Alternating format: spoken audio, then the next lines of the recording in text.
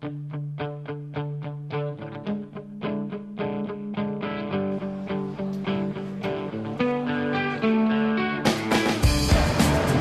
I give you a poster there, buddy? Show you how I sign it.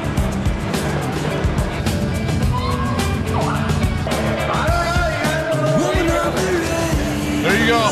Here's the only one poster that's two-sided. And we find out go, he buddy. has another talent he can draw.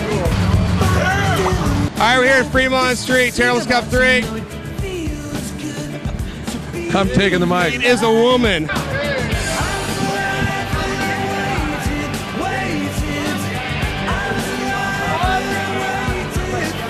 I was told Cameron blew a tranny once. I think that's what he meant. Yeah, real nice.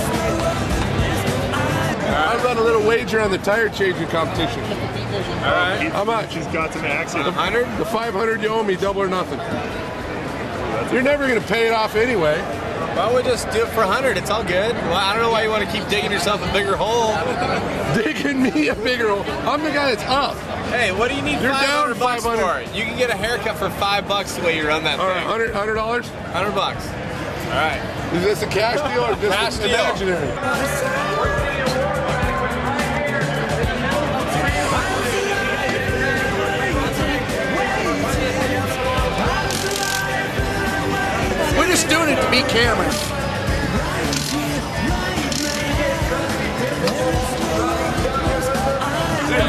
that 100 goodbye right now? No, we got you. I'm winning. That's the easiest 100 I ever won.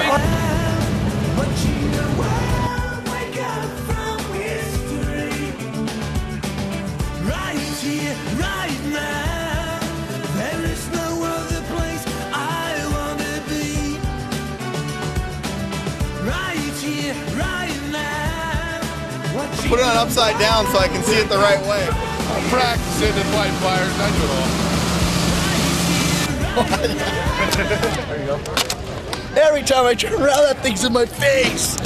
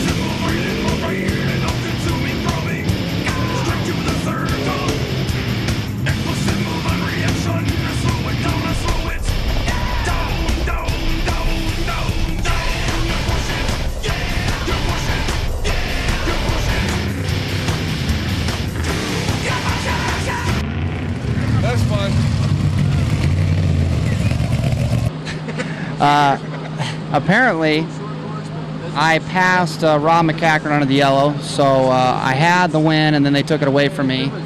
Uh, me and Rob were side by side. I was on the inside, going to the hairpin, going to the oval, Side by side. side by tire side, To tire. tire to tire, and uh, I pushed him out, and I got around him. Which is the right move. And after uh, I got over the hill, you got around the corner, I saw the caution with the guys, with the whoever was parked on the far right hand side, completely and totally out of danger. There's no way that I'm going to drift to the inside of a corner. Obviously, it's physics. It's the laws of physics. That's never going to happen. Uh, if I would have saw saw the yellow flag, things would have been different. But I can't see through hills. Hey, you know what, BJ? I think that will be that will be overturned upon further review. Rob, tell us your story on uh, what happened. Well, there in the main event, uh, BJ got a really good start. I got a great start. We got up behind him, and uh, you know he was doing really, really good. There was one one place he was weak, and it was the power. We had a lot of horsepower on him going down the back straight. And about the fourth lap or third lap, I got him. So he was leading. Oh no, he was he was leading. He was doing a great job. in the race. I- yeah, yeah. was- I was back yeah. back.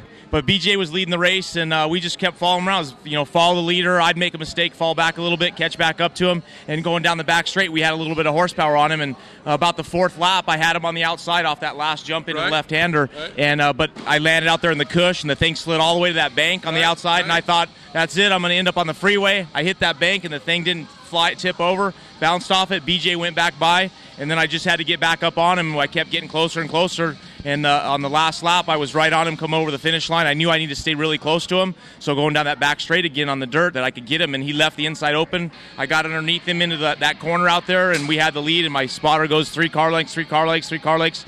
We went through the moguls, started coming down the front straight. He goes, "You got a yellow flag coming up," and uh, I went in there. and I'm mad at myself because I didn't. You know, I was thinking yellow flag, slow down, and I wasn't thinking protect the inside line. This was the last lap where the incident happened. After we've been around there five times already. Exactly. La- very last lap, we're coming around the, the last corner after the little triple. You, you're on the asphalt, and then you make the little j- jump over the into the infield there. And uh, t- I think I'm, it was Todd Wiley. He was in that area, and the flagmen they had yellow flags out.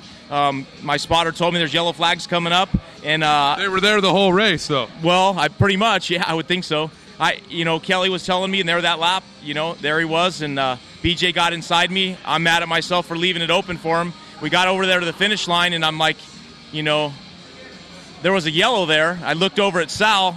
Sal was on the phone, and I go, he passed me under the yellow, and I pointed over to Wiley, and he looked at me, he shook his head, and then I'm like, went back to BJ, and I go, you know, I go, you, you won this race. I don't know what's going to happen. I go, you got me under the yellow, and uh, No, no, Rob. What I'm hearing right now is that he passed you, and now you're using the yellow flag to take the win. no, he he he did pass me. You you you let him. He passed you, and you were not slowing down for the yellow. He passed you on the same corner that you went the entire time, at full speed. He passed me under the yellow. Right or wrong? No, I totally disagree. You just told us that you were, you went wide open around that corner every time before that, correct? He passed me under the yellow. All right. That's Well, that's the story.